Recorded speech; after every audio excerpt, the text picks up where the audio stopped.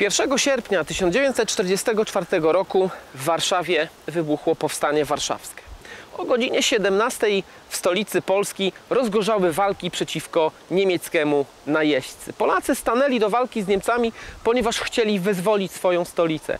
Polscy żołnierze chcieli pokonać Niemców tuż przed nacierającą Armią Czerwoną. Powstanie warszawskie było elementem akcji Burza. W ramach właśnie tej akcji Warszawa miała zostać wyzwolona, do stolicy miały przybyć polskie władze z Londynu tuż przed nacierającą Armią Czerwoną. W ten sposób Polacy chcieli, e, wykorzystując tak zwaną politykę faktów dokonanych, uniemożliwić komunistom przejęcie władzy w Polsce. Niestety powstanie zakończyło się klęską. Niemcy pokonali siły Armii Krajowej, Narodowych Sił Zbrojnych i różnych oddziałów, które walczyły w Warszawie. Rosjanie nie zamierzali pomóc polskim żołnierzom, zatrzymali się tuż przed Wisłą. Powstanie warszawskie zakończyło się 3 października 1944 roku po 63 dniach walki. Co ciekawe, w powstaniu warszawskim brali również udział mieszkańcy naszego regionu, pochodzący z Golubia-Dobrzynia, z Skępska, Radomina czy Zbójna. I właśnie w naszym materiale z cyklu Urywki Historii chcielibyśmy Państwu przybliżyć sylwetki mieszkańców naszego regionu, którzy w sierpniu i we wrześniu walczyli w okupowanej Warszawie w Powstaniu Warszawskim. Zapraszamy na krótką wycieczkę pokazującą mieszkańców naszego regionu, którzy walczyli w Powstaniu Warszawskim.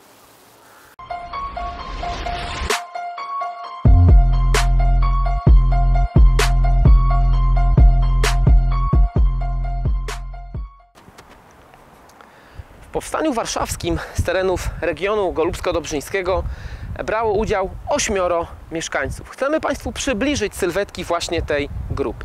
Wiemy, że w Powstaniu Warszawskim brał udział Teodor Jarzębowski, pseudonim Rex Jan. Urodził się on 14 sierpnia 1912 roku w Golubiu, Dobrzyniu. Jego rodzicami byli Franciszek i Cecylia.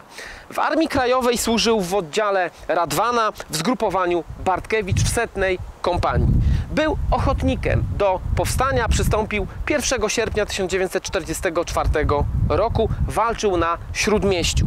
Po upadku zrywu dostał się do niemieckiej niewoli, a po wojnie osiedlił się w Kanadzie, gdzie zmarł w 1970 roku. Co ciekawe, w powstaniu brał udział również Stefan Brzozowski, pseudonim Kubia Kwiat, który urodził się 18 lutego 1923 roku w Radominie. We wrześniu 1939 roku Stefan Brzozowski na ochotnika wstąpił do polskiego wojska i służył w 63. Pułku Piechoty z Torunia. Z tym oddziałem e, trafił do Warszawy i w czasie okupacji zamieszkał w Warszawie. Wstąpił do Narodowych Sił Zbrojnych w 1942 roku. E, służył w oddziale kapitana Romana. W czasie powstania warszawskiego e, walczył w Śródmieściu e, Północ, również w obwodzie Radwan. Co ciekawe, po klęsce powstania trafił do niemieckiej niewoli, trafił do obozu jenieckiego, pracował niewolniczo w kamieniołomach w Niemczech. Po wojnie powrócił do Polski, osiedlił się w Elblągu. Nie był to jednak jego koniec walki z okupantem. Po II wojnie światowej był prześladowany przez władze komunistyczne, między innymi oskarżony został o posiadanie broni, był określany jako wróg ustroju, został aresztowany i przez rok siedział w więzieniu. Wyszedł na mocy amnestii w 1952 roku, a zmarł w 2008 roku w Elblągu. Co ciekawe, w powstaniu brał udział również Wacław Rudziński, pseudonim Prus, który urodził się 15 października 1910 roku w Zbójnie. Do Armii Krajowej wstąpił tuż przed wybuchem powstania. Także walczył na Śródmieściu w siódmym zgrupowaniu batalionie Ruczaj. E, zmarł w Warszawie w 1985 roku. Więc jak Państwo widzicie, w powstaniu warszawskim brali udział mieszkańcy Golubia Dobrzynia, Radomina i Zbójna. W następnym slajdzie pokażemy Państwu kolejnych mieszkańców naszego regionu, którzy walczyli w powstaniu warszawskim.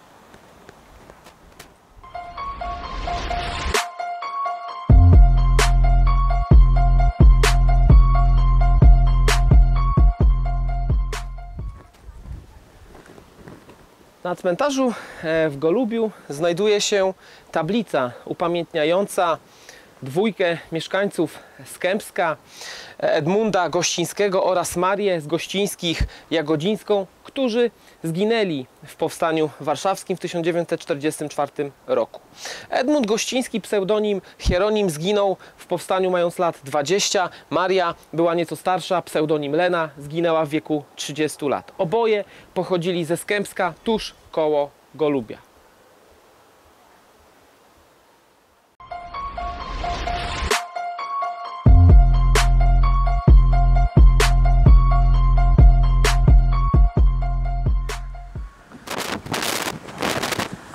Kamienicy tuż obok kościoła w Dobrzyniu urodzili się i wychowali dwaj bracia, Ludwik i Jerzy Eckstein Kamińscy. Byli to wnukowie Franciszka Ciszewskiego, czyli pierwszego burmistrza Dobrzynia po odzyskaniu przez Polskę niepodległości. Bracia w czasie II wojny światowej zamieszkali w Warszawie i gdy wybuchło powstanie warszawskie, zasilili szeregi Armii Krajowej. Niestety starszy z braci Ludwik zginął na początku powstania. E, młodszy Jerzy walczył w drugiej kompanii batalionu Zaręba Piorun w Śródmieściu Południe. Pełnił funkcję łącznika i miał pseudonim Granit. Po klęsce powstania udało mu się opuścić e, zrujnowaną, zniszczoną Warszawę. Po II wojnie światowej osiedlił się w Szczecinie, gdzie mieszkał i zmarł w 2004 roku. Co ciekawe, tuż za kościołem w Dobrzyniu mieszkał inny powstaniec warszawski, e, Witold Olbrychowski, który co prawda nie urodził się w Golubiu Dobrzyniu, trafił do naszego miasta w latach 60. Urodził się on 2 kwietnia 1924 roku w Radomsku. W czasie II wojny światowej musiał opuścić rodzinne strony, udał się w okolice Lidy na Kresach Wschodnich. Tam wstąpił do e, oddziałów Armii Krajowej, do oddziału I z tym oddziałem właśnie latem 1944 roku, gdy żołnierze dowiedzieli się o wybuchu powstania, e, przemaszerowali właśnie z okolicy Lidy do Warszawy. Witold Olbrychowski w ten sposób włączył się do walk e, w powstaniu warszawskim. W czasie powstania dostał się do niemieckiej niewoli, został zesłany do obozu e, dla jeńców w głąb Niemiec i tam właśnie e, jego obóz został wyzwolony przez polskich żołnierzy z dywizji pancernej generała Maczka, a Witold Olbrychowski trafił do e, pancerniaków generała Maczka. E, I w ten sposób właśnie służył w polskich siłach zbrojnych na zachodzie. Po II wojnie światowej wrócił do Polski i tak jak wspomniałem w latach 60. przyjechał do Golubia Dobrzynia. Witold Olbrychowski zmarł w 2019 roku. Warto tutaj wspomnieć, że jeszcze za życia pasjonaci z historii z Torunia, z Muzeum Historyczno-Wojskowego oraz mieszkańcy Golubia, harcerze zorganizowali dla Witolda Olbrychowskiego rajd właśnie ku pamięci Doliniaków. Rajd ten właśnie e, odbywał się na trasie z Torunia do Golubia. Pasjonaci historii w mundurach z epoki przemaszerowali ku pamięci właśnie tego oddziału do Golubia, aby w ten sposób złożyć również życzenia Witoldowi Olbrychowskiemu. Tak jak Państwo usłyszeli, w powstaniu warszawskim z terenu Golubia Dobrzynia i okolicznych miejscowości brało udział ośmioro mieszkańców. Warto o nich pamiętać, tym bardziej, że obchodziliśmy właśnie niedawno 77. rocznicę wybuchu Powstania Warszawskiego. Zachęcamy do śledzenia naszego kanału Urywki Historii, do śledzenia naszego fanpage'a i do lajkowania, subskrybowania i oglądania naszych materiałów.